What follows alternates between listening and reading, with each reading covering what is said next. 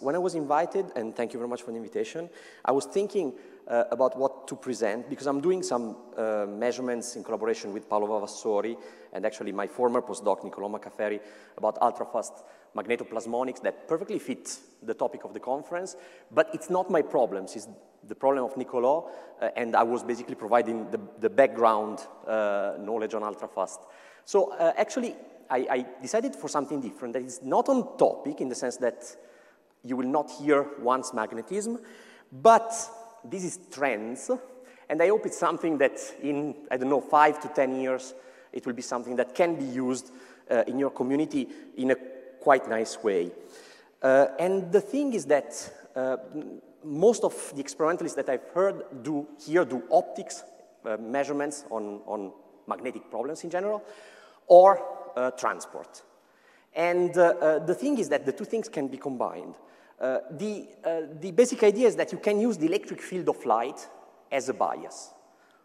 It's an oscillating field, but it's still an electric field that you can harness. And the, uh, the idea that we had, it's relatively simple. Imagine to have a circuit with a very small gap that makes the circuit open. And if this gap is very small, that's a tunneling junction. So what you can do when you apply a, a, a field to such a junction, when this, the, the field starts to become stronger and stronger, you, you start to have a current.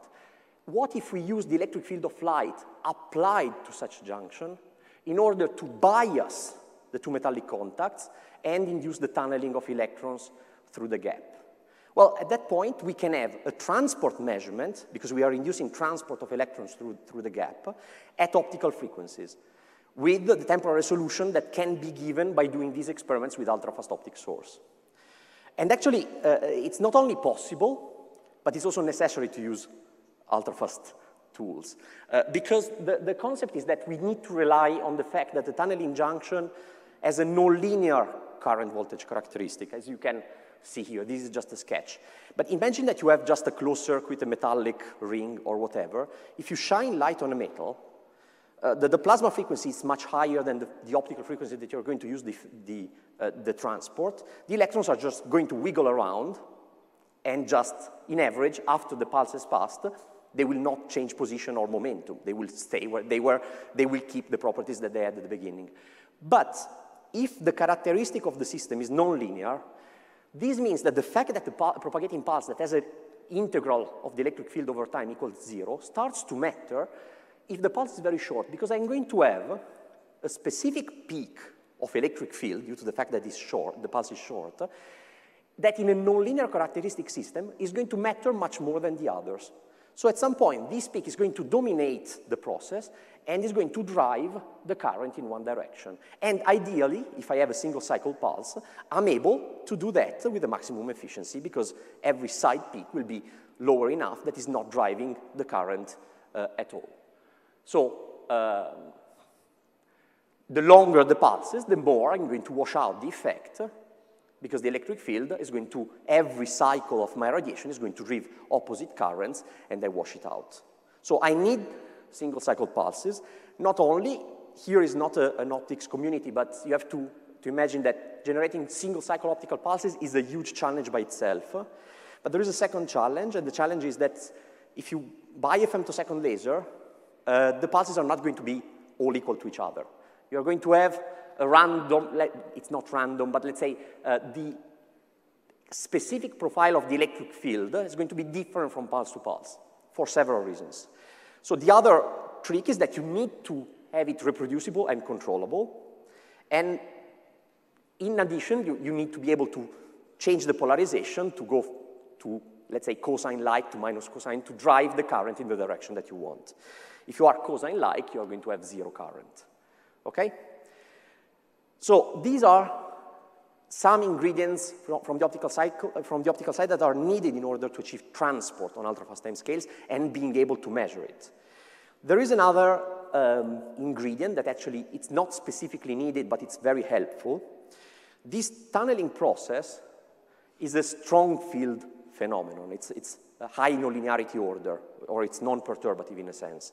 So we can also benefit from the fact that we can even enhance the optical field that we are using for our system. So we can use plasmonic antennas. We can use plasmonic antennas and embed them in a circuit so that the gap, the, nano, the nano-sized gap that we're going to use actually is the feed gap of an antenna in which we can provide even a field enhancement so we can even enhance the optical uh, bias that we are going to uh, induce at the gap uh, of the antenna. And this is uh, uh, antennas that we have made.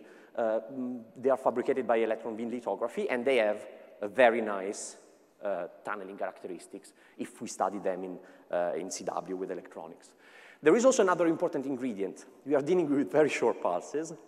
We want that every system that is interacting with our pulses is not reducing the bandwidth of the response. A single cycle pulse requires a lot of colors at the same time in a coherent fashion to generate a single um, period of the optical radiation. So we need also that these the optical response of these plasmonic antennas have to be as broad as possible. And bow ties are perfect for that because they are kind of providing very good uh, uh, field enhancement. They have a very sharp tip. Plus, they are, th their shape is triangular, so they are not good oscillators. They are kind of broadband intrinsically. So, to develop this kind of technology, it's a long story. We started a lot of years ago de developing the laser systems to do this uh, these kind of, uh, of experiments. And actually, the motivation to move in, the, in transport was because we had a very ideal source for that. We developed a, a, a fiber laser operating at high repetition rate, meaning that we can have a lot of um, events in, in, the, in, the uni, in, the, unit of time. We have single cycle pulses. This uh, was published 10 years, more than 10 years ago. And we have a very nice way of controlling these this Carrier envelope phase. You, have, you see all the optical references in, uh, in this slide. So the, the experiment then uh, becomes rather conceptually simple. We have our special source in which we generate these single cycle pulses with controllable uh, shape of the electric field. Uh, we have our short pulses and we focus them on, on a single antenna and, and a, single, a single circuit in which we can measure the current Thus, the transport happening at the nano gap. Um, the, there are some nice technical details about that. We can completely decouple the temporal duration from the control of the CEP. This is one of the optical mm, challenges that, that you have doing these experiments. Typically, if you want to do the two things, they start to be coupled. The temporal duration will be coupled in some way, in a, in a way you control the CEP, but fine, we can do all these things. And then we can uh, change, so we can arbitrarily change the, the, the, profile shape of our pulse and look at the current that we induce. So this is the first measurement that we did. Um, and these are, uh, the, this is the characterization of the pulses. Uh, I can go quickly. So we have, we, in those experiments, we had six femtosecond pulses. That is roughly 1.4 optical cycle at the carrier frequency, but we have a clear, uh, this is strong, strongly nonlinear phenomenon. So the fact that uh, the field at the peak is even 10% higher than the side peaks on these, uh, on, on, on, the opposite polarity, it, it has a huge impact on the measurement. And then we did the measurement by controlling the carrier envelope phase. So this is a characterization of that via F2 to F um, spectrogram. So here you see when the pulses have the, the, the, the same carrier envelope phase, and then we let them scan through it okay? And we measure the current, we collect the current. And this is the measurement. Uh, it's not. Yeah. So scanning the carrier envelope phase, we measure a current that is completely modulated with the periodicity at which control the carrier envelope phase. So we have basically a circuit that we close with light. It can act as a diode, if you will, but it's a diode that is closed by the electric field of the radiation, not by the absorption of photons. Um, and in addition, is even better than a diode because I can completely revert the direction of the current, okay? Because this just follows the polarity of the electric field that is impinging on, on the nano gap. And I can do all sorts of studies of how the transport occurs at this nano gap. Uh, it's of, of, course, it's a strongly nonlinear phenomenon. It's a tunneling. Uh, I need to, uh, to have a high probability of passing an electron through a barrier, plus uh, there are some other ingredients there that I can discuss in a moment. The gap is still quite big in reality for a, uh, for a complete tunneling. It's roughly 10 nanometers. So in reality, what we have in this specific experiment is tunneling of the electron in free space and then a ballistic uh, closure of the circuit by the electron that reaches the second contact. Uh, but nothing prevents to fill the gap with different geometries with the material that you want to study for the transport in the material itself. So we study the, the, propagation of the electrons into the material itself, and of course, if the field is not strong enough, first of all, I might not have tunneling at all. If the, the field is strong enough, I have tunneling, and then the electron starts to wiggle between the electrodes, and if the field is strong enough, I can close the circuit within half a cycle of the optical radiation, thus having uh, a temporal resolution that's shorter than half a cycle of the optical pulses. And we had a, a very nice collaboration with Javier Aizpurua and Andrei Borisov that did the full modeling of this process occurring in the gap via uh, TDDFT calculations of a model system much smaller than an actual plasmonic antenna, but let's say considering the classical properties of plasmonic antennas and uh, the quantum mechanics of the transport within the gap. Uh, after that, we improved even more our temporal resolution. We, were, we managed to make the, our pulses even shorter. Now we are truly at the limit of single cycle. Uh, we improved just, just by 0.4 of a cycle, from 1.4 to one cycle. And the, the, the the process became dramatically more efficient. Before we were, we were measuring roughly one electron every 20 pulses, operating at 80 megahertz, so still very easy to measure. Uh, with these pulses at the maximum uh, powers that we can exploit, we have up to five electron per pulse. Okay, so imagine five electrons that are funneled in a nanometric uh, dimensions uh, in one femtosecond. So that the current densities are also huge. So there are very important quantum phenomena that are occurring in the transport itself. And in this way, we can start also to access the time domain aspect. We did autocorrelation with two pulses deriving the phenomenon as a function of the time delay between the two pulses and as a function of the carrier envelope phase, because that's another degree of freedom that we can, we can measure. That's something that you cannot do when you do standard autocorrelations. The, the, the carrier envelope phase will be completely irrelevant in those kind of measurements. And this is the kind of map that that you get might be not easy to, to visualize, but if you do a cut at CEP equals zero, so when the pulse is perfectly cosine shaped, this is how an autocorrelation looks like. So uh, the central spike, that is the, the, uh, the central event when the two pulses are perfectly overlapping, shows what can be the temporal resolution in such kind of, uh, of experiment.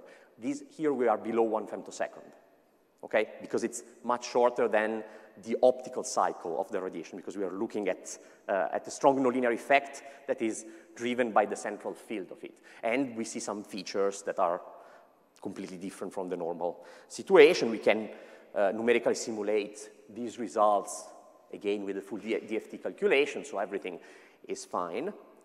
Uh, and uh, the interesting thing is that depending on the shape on the antenna and the specific experimental condition, we can go from uh, perfectly uh, exponential curves, that is what you expect from driving such a strong field effect, to some situation in which we start to see saturations. So we start to see the bottleneck of the current transport uh, at such time scales due to the fact that you, you start to, to have Coulomb-Coulomb interaction. Um, and the interesting thing uh, is that all these experiments that are strong field experiments are happening at very low power uh, mm, pulse energies. We are below, uh, we are at, at 2 picojoule to, to observe, you see, this effect, but we can go towards femtojoule um, pulse energies to measure this kind of phenomena. So very, very low optical powers that starts to become very interesting to study phenomena at, at, at the nanoscale. So these has a lot of implication on transport in free space and in bulk material because we, we can always think about putting a material in between, maybe doing a different geometry to metallic contact with a layer in between, cleave and illuminate from the side. So a lot of different possibilities there. Transport in magnetic material, you can use also some, uh, some metals that uh, will, uh, will have a, majority spin in, in, in, the current that you inject. But there is also another interesting perspective because um, the idea directly can be um, ported to a technique that is heavily used in your field, that is scanning tun uh, tunneling microscopy. And this field was pioneered in very recent years by a lot of people, Rupert Huber, Frank Hegmann, uh, doing uh, terahertz-driven um, STM. The point is that terahertz-driven STM has a temporal resolution of 100, picos um, 100 femtosecond and up uh, picoseconds. Uh, with driving these with near-infrared, mid-infrared radiation, uh, you could do STM uh, with femtosecond temporal resolution. And uh, these are uh, results obtained in the very last months. We are preparing a publication about it. Uh, I don't know if you see, but in our STM that has full uh, optical access, all the measurements are done at the moment at room temperature because that's the interesting thing, doing the thing uh, with optics at, uh, and looking at the demodulation of, uh, at optical frequencies. We can still do the things uh, at, room temperature. Maybe some interesting phenomena will come up when we go at lower temperature. But then we do our STM, and we have, we, we shine our, our short pulses at the tip of the STM, and we see that we can modulate the transport again at the kernel phase of our pulses, and soon will come the time domain experiments in which we are exploiting this to study uh, temporal dynamics with atomic uh, resolution. With the goal, my personal goal is more going towards uh, molecules and observing uh, orbitals and charge um, localization on uh, electronic systems. So for example, imagine a, a molecule from HOMO-LUMO transition, the electron localizes in a different direction and observing the electron that moves around in a molecule. But uh, nothing prevents to apply this technique to uh, other transport phenomena in which, for example, the spin uh, might be relevant. So uh, in conclusion, I hope to show you that uh, this is a very promising technique that can be used to couple optics and electronic transport so that electronic transport can access temporal resolutions that uh, are accessible only to optics uh, and with uh, future uh, exciting um, possibilities. Um, of course, I have to thank all the people that were involved in this series of work, first in Konstanz, that was my previous affiliation, and right now uh, in Luxembourg, uh, and the collaboration with the theoreticians that did the modeling, uh, the TDDFT modeling about the transport of the electrons within the gap. And with this, I thank you for your attention.